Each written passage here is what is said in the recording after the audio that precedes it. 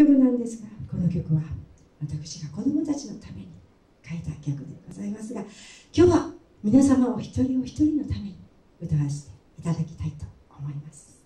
それではお聴きください。また明日。